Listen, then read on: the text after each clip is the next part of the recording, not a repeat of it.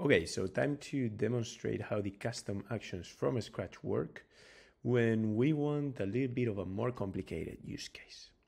So in this case, what we're going to be doing is we're going to be looking at a couple of Airtable tables. And this one has a list of users from uh, which we're going to pick one, and that's going to be the person that we're calling. So after the person says that uh, we should pull their preferences, then we're going to look in this table and we're going to look for the preferred location of the user, their budget, the preferred number of bedrooms, bathrooms, and then some additional details. Then with that information, if the user says that uh, it's okay for us to fetch for properties, we're going to look in this table and try to find which properties are matching the user's uh, preferences. So let's have a look first. I'm going to call Pablo and then uh, let's see if the data is pulled and also let's see if the uh, different properties are filtered and if the AI is doing a good job at that.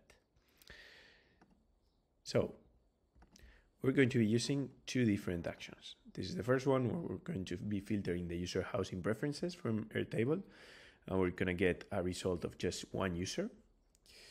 And then the second action that we're going to be using is this one to filter real estate properties from Airtable. And based on the user preferences, we're going to filter a list of records. I'm going to do that in this assistant here where I have set up two different actions. So we can see them here. One is the one to filter the user housing preferences. The other one filters the real estate properties. So I'm going to put here my details and now we're calling. I'm gonna pick the call with my phone. Let's see. There we are.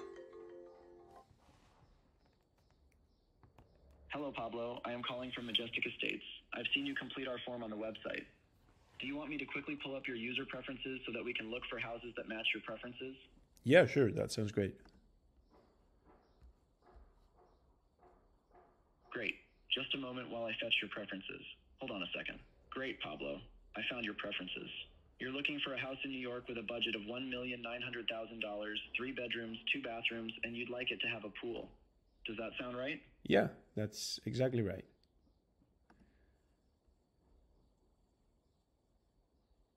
Let me find some properties that match your criteria. I've found a couple of options for you in New York within your budget. The first one is a spacious and modern condo priced at $800,000 with three bedrooms, two bathrooms, and it includes a garage. The second option is priced at $470,000. It's a beautiful condo in a great location but has one bedroom and one bathroom. Would you like more details on the first option since it matches your preferences more closely? Mm, I actually think I might have a little bit more budget. Yeah, I want a better house. Oh, that's exciting. Building your own house gives you the freedom to customize everything just the way you want it. If you're thinking about increasing your budget and focusing on building, would you like some help finding a suitable plot of land or perhaps connecting with architects and builders in New York? Um, no, no. Actually, what I mean is that I just have a little bit more money to spend on an apartment or a condo or a house. Got it. Thanks for clarifying. With a bit more flexibility in your budget, we can definitely look into some more upscale options or properties with additional features that meet your needs. Would you like me to search for properties slightly above the $1,900,000 mark? Yeah, I think you have a specific new budget. Yeah, exactly. I, I do have a new budget. I think about 4 million.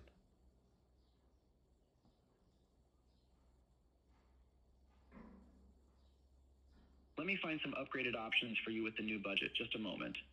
Just a moment while I update the search with your new budget of $4 million. Hold on a second. With your updated budget, I found a fantastic option that might catch your eye. There's a luxurious apartment in New York priced at $3,100,000.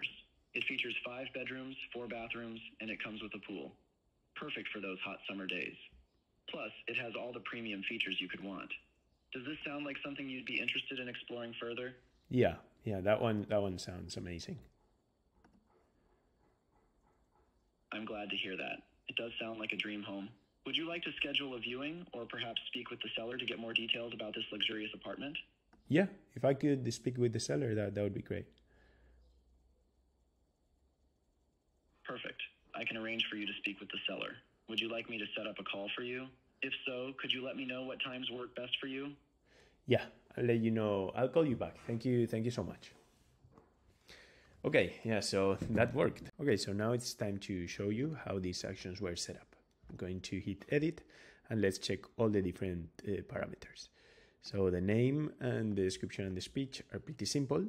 Then the URL is the base URL that we can take from the Airtable API re, uh, reference, where we include the base ID and the table ID. To get the table ID and the base ID in Airtable, I just took them from the URL here.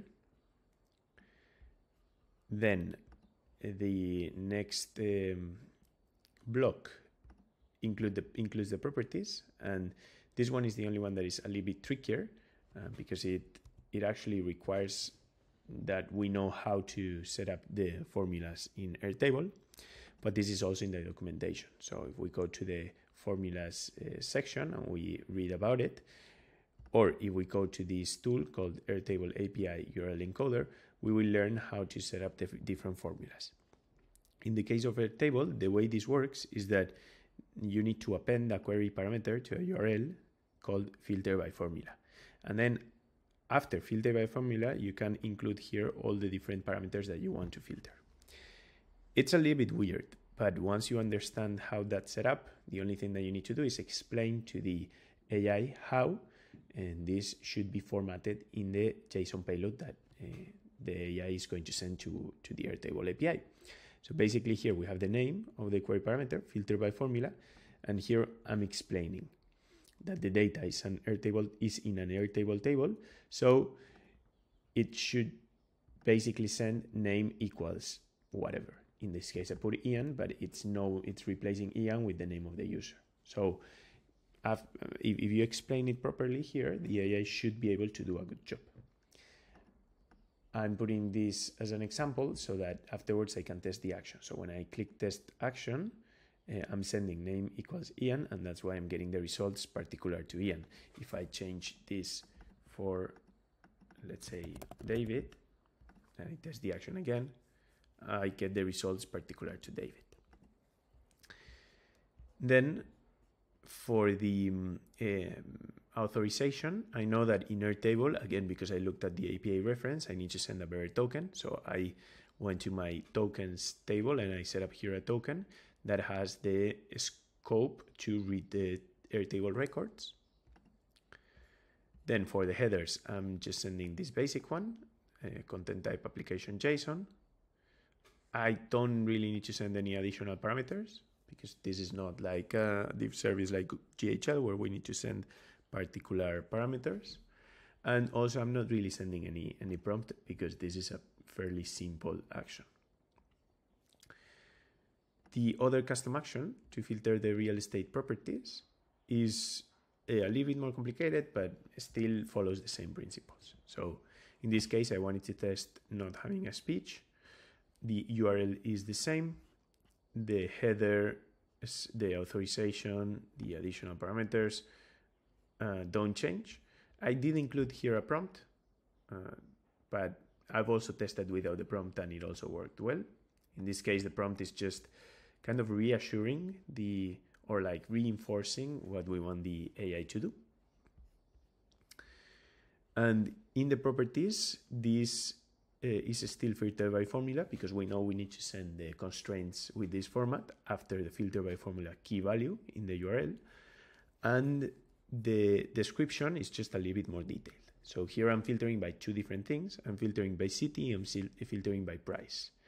And we want the AI to uh, specify or like send the query parameter with this value.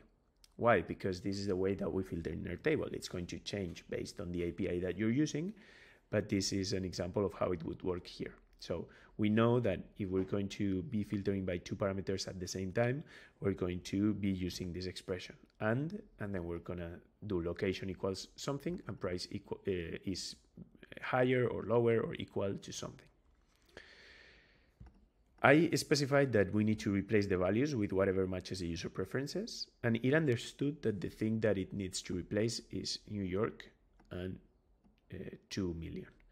You could also just um, maybe be even more explicit and say replacing New York and 2 million with whatever uh, the location and the price that the user says uh, with with the price and the location that the user says. And I think that would work even better. But you saw that it worked with this prompt.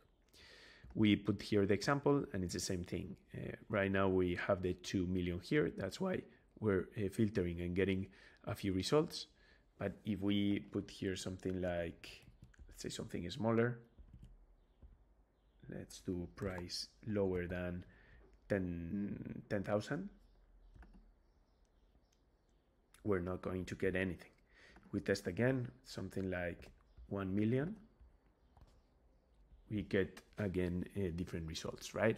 So you can see how changing here the example is already going to tell you if the if the API call is going to work and uh, that's it besides that in the actual assistant prompt what I'm doing is that I am just uh, setting up the different steps of the call, but they're fairly simple. So uh, we're just asking first to ask for the username and fetch the preferences. Then we execute this action to get the, the preferences, of course. And uh, then we ask the AI to wait until the user has confirmed that the preferences are correct. And I found that this is pretty important because we don't want the AI to automatically, after getting the preferences, already look for, for properties because then it looks super rushed. The AI starts interacting itself. Uh, it's better if we do it step by step and we ask the user to confirm. We execute this second custom action and that's it. Then I'm just telling the AI to choose the houses that match the user's preference. And focus especially on the preferred location and the budget. That's why it puts a little bit more emphasis uh, while it's talking on those two aspects. But you could change this if you wanted and maybe focus more on, on others. Again, just like in GHL, uh, in the custom greeting, I'm already asking if we can get the user preferences, and that is because it's a little bit more natural. It's better if you already start the call uh, asking for the user preferences, then uh, you start the call with the custom action and everything is a little bit more fluid. And that's it. That's the end of this um, demo. I'm excited to see the different use cases that you come up with and see if we can keep tweaking this and maybe adding some more integrations.